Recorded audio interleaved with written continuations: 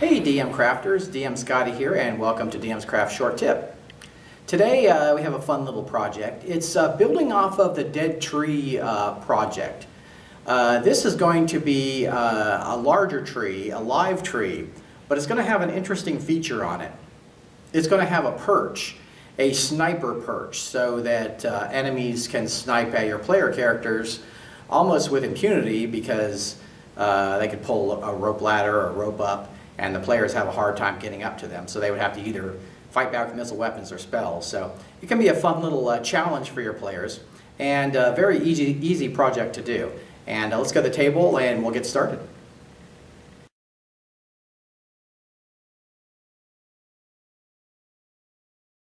So here's the tree perch I'm working on. Uh, you can see a figure will fit on the perch, moving all around the tree. Um, be careful when you put the branches on. You don't want to make it so that it's hard for a figure to uh, stand on there. But I've got the, I haven't put the branches on yet, but I want to show you what I did. So I just cut the disc and uh, cut through the circle and then cut out the center and then slid it over the tree.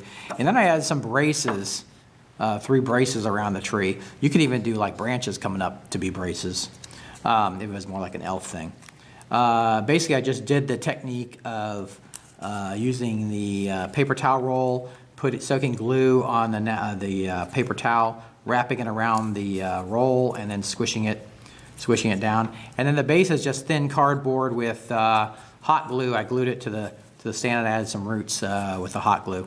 So now what I'm going to do is I'll just I'll go ahead and add those branches to the tree and paint it up, and then I'll show you what it looks like.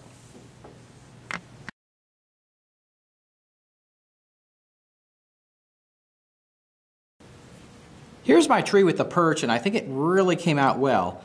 Uh, the perch looks nice. You can set uh, figures on there, like I've shown earlier. Uh, so what you could do is have the figures uh, pummeling the uh, players with missile weapons, and or the players could get up here and do the same to the monsters. But what I would say is like the monsters have a rope or they have a, uh, la a ladder, rope ladder, that they can climb up and they can pull up when they get up there. So for the players to get up there, they got to climb the tree and try to get around this, which would not be an easy feat. So uh, it could be an interesting uh, challenge for the players. Uh, let me uh, take these off and I'll show you a few more details. So you can see the base. I uh, did a little bit of flocking on there. And I did some um, um, glue gun texture on there, so it looks like the roots are going into the base. I also did some glue gun texture on the, uh, the tree itself and on the perch. Uh, so that looks really nice. I also painted the perch a different color than I did the tree, so it kind of sets it off uh, from the tree itself. Now you notice the branches on here, and the branches are the same way I did the dead tree. They're just the same from the exact same plastic plant that I did with the dead tree. Although I did a little, I did a few things differently. One thing I did differently is when I poked them in, I put some hot glue on the end to make it larger uh, as it connects to the tree. So since this is a larger tree, I thought that would be appropriate. I also added some uh, little green stuff here that uh, to represent foliage on the tree since it's not a dead tree. Uh, but uh, I didn't want to make the foliage too crazy uh, to obstruct play, but, but give it enough of a, you know, a presence that it would um, look like a live tree. So, and what, and you can also get this stuff larger. What I used for this was I used these this uh, coarse uh, Scenics turf. And all I did was I just spread white glue over the branches and then poured this stuff on, uh, caught it on a plate, and then used it over and over on the rest of the branches. But um, you can see this is only $4, and this, this would, you could do dozens of trees with this, uh, just a small packet.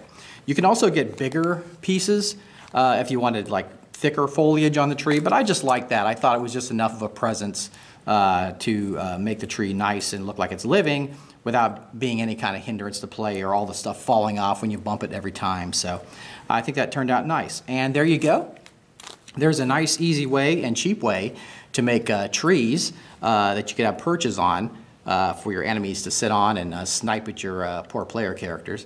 So there we go, and I'll see you next time on DM's Craft.